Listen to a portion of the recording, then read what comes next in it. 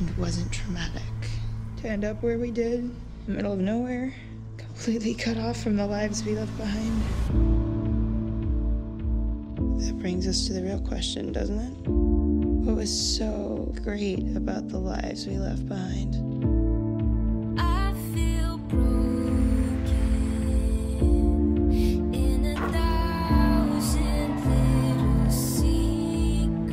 Feels like everywhere I go, somebody's asking me to meet some kind of expectation. I feel broken.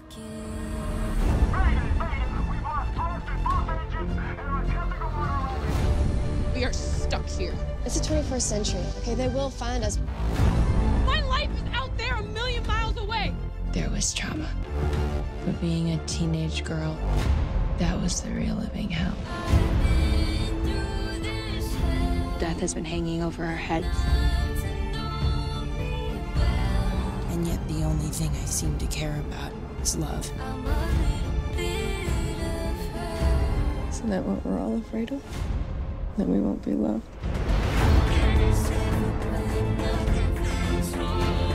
Are we in the actual Bermuda Triangle?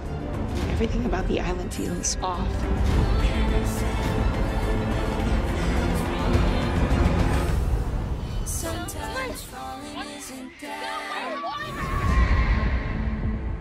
What kind of person sees an island full of lost girls and doesn't send help? Your daughter is stepping back from a very dark precipice. Sometimes I feel guilty that we lied to her. You did that to save her.